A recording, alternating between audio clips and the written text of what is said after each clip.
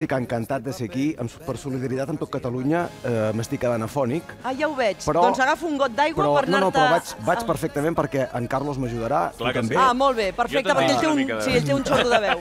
Va, Ell m'ha dit que me'n deixava i, i me la deixa. Clar de que fet, sí. A veure. eh, com estan? Bé? molt, bé, estan aquí hi ha, encantats. Aquí hi ha una història que jo he volgut venir, eh, malgrat tenir això al coll, perquè la història d'en Serrat, eh, biogràficament, hi ha una part molt desconeguda que és molt principal per explicar. I aquesta fotografia, això ho farem amb tres fotografies, la primera és extremadament important pel que no es veu aquí. Hi ha un fet que no es veu, que és que es diu Joan Manuel Serrat i Teresa. El fet que es digui Teresa ens marca l'origen que és a Saragossa, el poble de Bellchite, un poble que durant la Guerra Civil va ser completament destruït.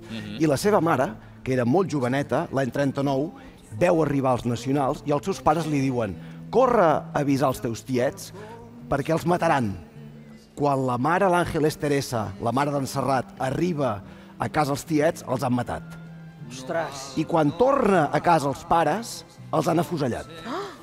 mare meva. La mare d'en Serrat, a l'any 39, espantadíssima, què fa? Agafa les dues nebodes, no en va en Serrat, diu que és fill únic de tres germans, agafa les nebodes i camí de la via que troba, arriba a Barcelona caminant.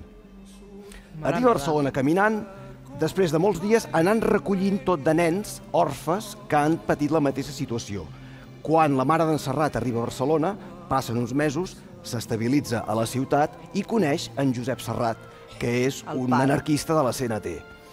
Es casen, en, en Serrat ja té un fill, Carlos, i per tant, en Serrat sempre diu que és fill únic, però amb tres germans afegits, les dues nebodes i, i, el, i el Carlos. És una història molt desconeguda, Molt desconeguda, que ara. fa que, fa que eh, el fet de cantar en castellà i tenir cançons com Cançó de Bressol, on, per cert, parla del el meu avi eh, que dorm al fons d'un barranc, eh, facin referències constants a la guerra, ja que hem parlat tant de guerra, que a casa seva van patir.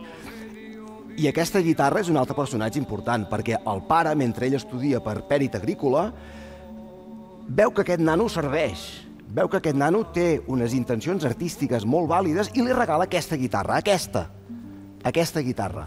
Amb aquesta guitarra, en Joan Manuel Serrat es converteix en els 16 jutges número 13, pioners de la cançó i la defensa de la llengua catalana. Com a número 13, comença a publicar eh, discos i també en castellà en publica un, ja estic perdent la veu, eh? Vols una mica d'aigua? Vols una esteu, miqueta? Esteu bé? Sí. No, Molt escolta, bé, el, el Carlos em deia contents? abans que Molt per bé. exercitar la veu és parlar i cantar. Sí, Sí. senyor. En el No, teu cas, Sí, senyor. després ell potser cantarà, tu potser cantaràs, Clar que però sí. ell... Amb aquesta, amb aquesta guitarra eh, fa cançons com el Titiritero. Quan fa el Titiritero, a l'any 68, sent el 13è 16 jutge, Eurovision el proposa per ser el representant d'Espanya a Eurovisió. Ai, Amb el tem- ai, el tema Eurovisió. Amb la cançó El Titiritero. Ahà. Però n'hi ha una altra que és més bona, que és el La La La. La La La. La la la la la la Crec que la que va acabar cantant la Maciel. Sí, senyor. I va succeir un fet que és molt important en la biografia del personatge, que és que el La La La, cantada en castellà, va estar eh, composada pel Manuel de la Calva i Ramon Arcusa. Duo dinàmico. Duo dinàmico, Sí, senyor. molt bé. És una cançó molt d'Eurovisió, el La La La. I quan la campanya de publicitat que havia fet Televisió Espanyola va arribar al punt culminant, Serrat, i això és molt Serrat, és un rebel sense causa, diu que la vol cantar en català. El general Franco li van petar dues coronàries. I va dir, però què diu aquest home? Ara vull cantar en català, ara vull cantar en català. Ostres! I què va passar aquí? Van arribar a un acord i van dir, bé, cantaré un vers en català.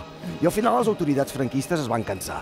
I van dir, aquest noi, aquest Ni rebel vers. sense causa, ni Camina. vers, ni no sé què. A més a més, un, un, un personatge antifranquista com en Serrat, enfrontar-se, el va excitar, enfrontar-se a les autoritats franquistes i passar el la la la a la Maciel, que va guanyar Sí. l'any 68. Hi va haver una època en què Espanya guanyava La Eurovisió. tanquita, Sí, la, que- la tanqueta de Leganitos. Exactament. Que no quedava a la, a la cua, com últimament. Exactament. I el règim franquista el castiga. El règim franquista castiga a Serrat molt, d'una manera frontal i de tal manera que s'ha d'arribar a exiliar. S'arriba a exiliar. Veten a la televisió i a la ràdio els seus discos, les seves cançons. Pateix un moment... Eh, Una censura una censura molt important. important fins que l'any 75, fins que l'any 75, eh, en Serrat denuncia a Mèxic els darrers afusellaments, els darrers afusellaments perpetrats pel general Franco. Tant és així que hi ha un fet que emmascara una mica la figura d'en- Serrat, que és aquesta barreja eh, biogràfica d'haver patit això a casa seva, el fet de cantar en castellà, el fet de negar-se a fer-ho en certs llocs. Però hi ha un element principal, que és que enganxa. Sí. Home, és que enganxa molt. Hi ha una imatge important, per acabar el perfil, I els seus concerts enganxa molt. que són les paraules d'amor. Home, Les paraules d'amor és una cançó que és impossible...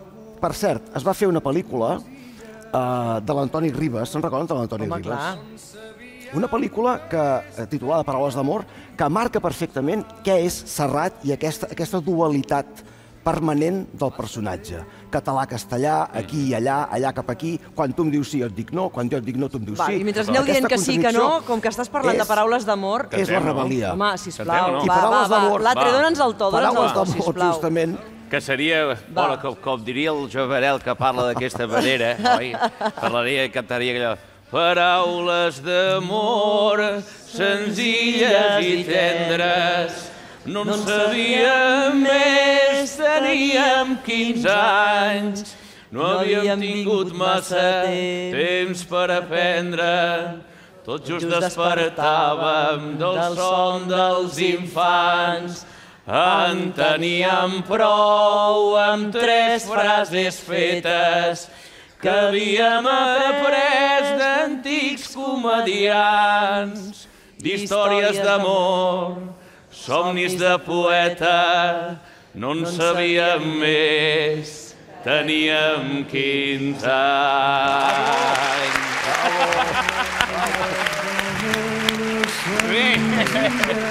Serrat, serrat, serrat, serrat. A mi hi ha una, una cançó que em torna boig, A mi també. Ai, quina? que, que era Quina la que és? jo escoltava al cotxe, que la posava el meu pare, que era una cançó que, em- que em sembla que representa moltes coses, que és De vez en cuando la vida, Oh, oh, que és de vez en- meravellosa, és meravellosa. que és meravellosa. I és caprichoso el azar. És caprichoso. També el és molt bona. Però ara podríem, Bueno, ara podríem estar tot el matí cantant cançons. amb el Anem seu Manel. A veure, a veure, tenim, tenim